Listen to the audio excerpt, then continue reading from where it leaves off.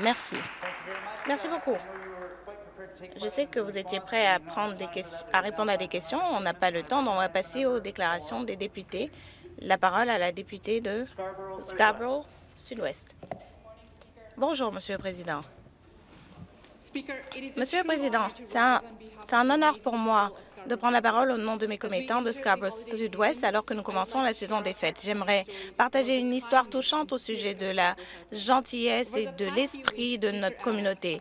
Au cours des dernières semaines, un vétéran, M. Adam, qui travaille comme PSSP, a travaillé avec euh, des travailleurs euh, communautaires pour donner du soutien aux organismes locaux qui aident les plus vulnérables dans notre communauté alors que la saison des fêtes commence et que nous allons passer du temps avec des proches, ce temps peut être également difficile pour de nombreuses familles, surtout à cause de l'année qu'on vient d'avoir. Monsieur Adams est un vétéran de la Deuxième Guerre mondiale qui était pilote dans les forces armées aériennes et il voulait vraiment trouver des façons d'apporter de la joie et du soutien à ceux qui en avaient le plus besoin. Il a établi un arbre de Noël et quelques décorations devant à, à la déventure de sa maison et il accueillait de la nourriture et des dons de tous ses voisins. Et donc, il, il se rend dans la banque alimentaire de Bluff pour distribuer de la nourriture. Jusqu'à présent, ces efforts ont permis de euh, récolter jusqu'à 300 cadeaux. L'année dernière a été extrêmement difficile pour les membres de, notre communauté et donc euh, de nombreux membres de notre communauté ont perdu des proches à la COVID-19 ou ont perdu leur emploi. À cause de ces difficultés, la communauté s'est rassemblée pour se soutenir l'un et l'autre. Parfois, la, la gentillesse et la détermination d'une personne a eu des effets positifs sur toute la communauté et c'est pour cela que je veux dédier mon, ma déclaration à M. Adams et à tous les bénévoles incroyables qui ont fait un travail incroyable dans notre communauté. Merci. La parole au député de Whitby. Merci, Monsieur le Président. Je suis heureux du fait que notre gouvernement investit 3 millions de dollars de plus dans l'initiative de David C. afin de bâtir des institutions postsecondaires dans ma circonscription comme le, collège Durham pour les personnes handicapées et les étudiants handicapés dans leur transition vers le monde du travail. Nous avons besoin de plus de programmes qui aident les personnes handicapées. Nous avons des... Je respecte les initiatives qui veulent tirer profit de ces de ces étudiants pour pouvoir euh, combler les fossés dans le monde du travail. Et ce genre de programme constitue une étape importante. Notre gouvernement va continuer de travailler avec nos partenaires pour retirer les barrières et permettre à ces étudiants de pouvoir réussir sur le milieu du travail. Euh, j'aimerais cet investissement va permettre à des institutions académiques comme Taylor Tech University et Trent Durham à continuer d'aider ces, diplômés handicapés à pouvoir réussir sur le lieu de travail. Prochaine déclaration, député de Kiwatnan. Bonjour, Monsieur le Président. Je veux prendre la parole ce matin pour parler de l'importance de la préservation des records des pensionnats indiens. En octobre, le premier ministre fédéral a déclaré que tous les records d'écoles des pensionnats indiens avaient été publiés. Et récemment, on a appris que ce n'était pas vrai, qu'il y avait plus d'informations qui seraient publiées de la part du gouvernement fédéral. C'est un moment important pour les survivants et c'est une étape importante vers la responsabilisation et pour faire connaître le patrimoine de ces euh, pensionnats indiens. c'est très important que nous continuions de maintenir ces records pour avoir des preuves de ce qui s'est passé. Les Nations unies ont des principes en ce qui a trait aux normes pour le traitement des survivants de violations de droits humains. Le plus important est d'être une communauté qui est capable de chercher de la justice pour ceux qui ont été victimes de traumatismes collectifs. On a trouvé qu'il y avait 1800 inscriptions, 1800 inscriptions d'enfants en âge d'école qui ont subi, qui ont subi ces violations dans ces écoles. Nous avons identifié ces personnes qui ont perdu la vie, des élèves qui, ont, qui sont tombés gravement malades, par exemple, et qui ont été envoyés dans des foyers médicaux ou dans des cliniques locales. Nous devons appuyer les survivants et les aider à se remettre et ne pas oublier nos enfants qui sont décédés. Merci. Député de Mississauga Lakeshore. Merci. La semaine dernière, j'étais heureux de me joindre au Premier ministre et à la ministre de la Santé à Mississauga Lakeshore pour une annonce spéciale. Ce gouvernement va faire un investissement multi de, plusieurs milliards de dollars historiques pour bâtir un nouvel hôpital de pointe à Mississauga Lakeshore. Et quand il sera achevé, ce sera l'un des plus larges hôpitaux au Canada avec plus de 1000 lits d'hôpitaux. Il aura un des départements d'urgence les plus larges au Canada avec 23 euh, salles d'opération et un établissement de diagnostic avancé, un lab, un laboratoire clinique et d'autres infrastructures. Une bonne partie de ce plan de 30,2 milliards de dollars va servir à bâtir et prolonger les hôpitaux partout en Ontario.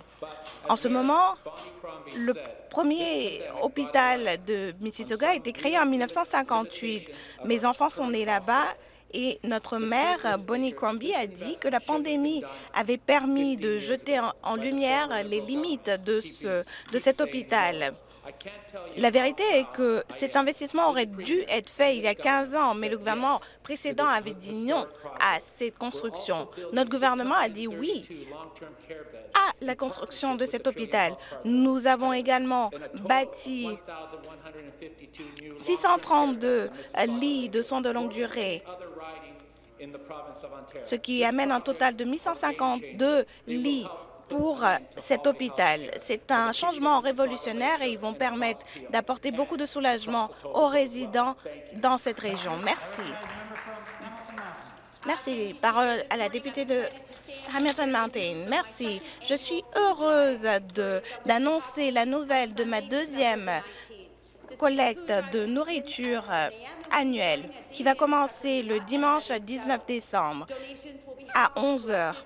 Nous allons nous allons être euh, situés à l'arène Dave Undertown et nous accueillons vos, tous vos dons. L'année dernière, nous avons pu collecter des milliers de livres de nourriture et ces dons vont permettre de vont être dirigés vers les banques alimentaires locales dans chaque voisinage, ainsi que dans le centre Kings, Kingsway. Cela va permettre de nourrir jusqu'à 592 308 adultes et enfants à travers les banques alimentaires en Ontario. C'est ce qui a eu lieu entre le 1er avril 2020 et la fin de l'année. Nos voisins ont besoin de nous. Ils ont besoin de ces outils, des céréales, des couches, des barres alimentaires. Juste pour nommer quelques points. Faites des dons généreux cette euh, saison. Nos pompiers seront avec nous. Et aussi notre ami, le Père Noël, qui vient toujours nous aider. Les bénévoles sont toujours accueillis, donc si vous voulez vous joindre à nous, contactez mon bureau et on vous donnera toutes les informations nécessaires. Le dimanche prochain, la collecte alimentaire sera un événement excellent. Je, je serai heureuse de vous accueillir. Je veux finalement souhaiter une bonne saison des fêtes et un joyeux Noël à tous, à tous mes collègues et à tous mes résidents, surtout ceux de ma circonscription. Merci. Déclaration des députés. Député de Ottawa-Vanier. Merci, Monsieur le Président. La saison des fêtes est là et je veux féliciter une initiative excellente dans ma communauté qui rassemble tous les résidents à la même année chaque année pour collecter des fonds pour le partage Vanier Food Bank. C'est un plaisir pour moi de, de participer au petit déjeuner de neige de ma circonscription. C'était impressionnant de voir la générosité des gens. Cette 16e édition du déjeuner flocon de neige, on fait preuve d'ingéniosité en proposant des boîtes à déjeuner pouvant être ramassées en service à l'auto et mettant en vedette les produits des commerçants locaux. Monsieur le Président, le Centre des services communautaires Vanier est un pilier et un partenaire incontournable à Vanier. Le directeur général, Michel Gervais, prend sa retraite après 30 ans de leadership exemplaire et de dévouement envers sa communauté. Je voudrais prendre cette occasion pour lui rendre hommage, le remercier chaleureusement et lui souhaiter une longue retraite en santé. Il fait de plus en plus froid et je sais que chacun de nous espère que chaque Ontarien aura un endroit où dormir et un bon repas la collecte de fonds et de nourriture est importante et en tant que législateurs, nous devons travailler ensemble pour trouver une solution de longue durée.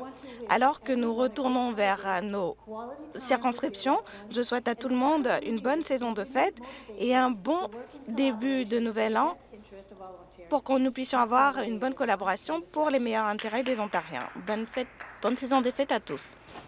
Merci. Déclaration des députés. Député de Markham Thornhill. Merci. Merci, Monsieur le Président. Demain, le 9 décembre, c'est le jour international de commémoration des victimes du crime de génocide et de la journée de prévention pour ces crimes. Et je prends la parole pour honorer les victimes et les survivants du, de génocide qui vivent ici en Ontario. Le génocide arménien, l'Holocauste du, du, génocide du Rwanda et le génocide autochtone. Et plus récemment, le génocide au Darfour et au Sri Lanka, ainsi que le génocide de la communauté Rohingya.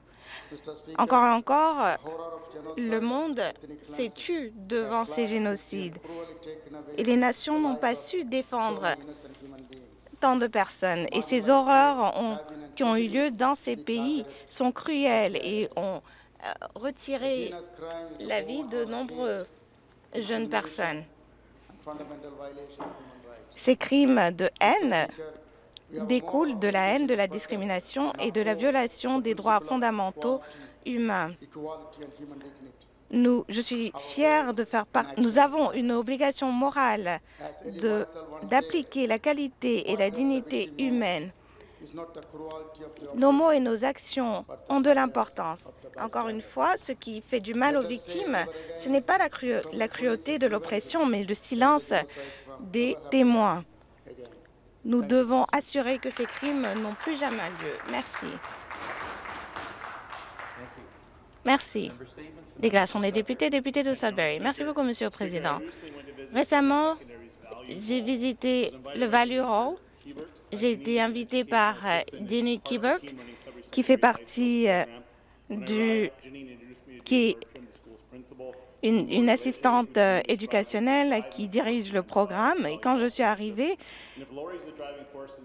elle m'a parlé des... Elle m'a présenté la directrice de l'école et elle m'a parlé de, du fait que c'était l'inspiration derrière ce programme et de comment est-ce que tous les étudiants sont, sont contents d'avoir euh, cette collecte. Il s'agit en fait d'une d'une sorte de banque alimentaire qui contient également des vêtements, des produits d'hygiène et des produits ménagers. Ils offrent aux étudiants euh, des machines à laver et des machines à sécher. Les étudiants peuvent les utiliser. Ils peuvent également euh, en collecter des goûters et de la nourriture pour retourner à la maison. C'est un vrai modèle. Et soyons honnêtes, les étudiants qui viennent de familles à faible revenu comprennent l'importance de ce genre d'initiative. Donc, les gouvernements conservateurs et libéraux doivent arrêter de prétendre que les mères célibataires peuvent survivre avec seulement 1 000 dollars par mois. Il faut assurer que nous avons plus d'initiatives de ce genre. Merci.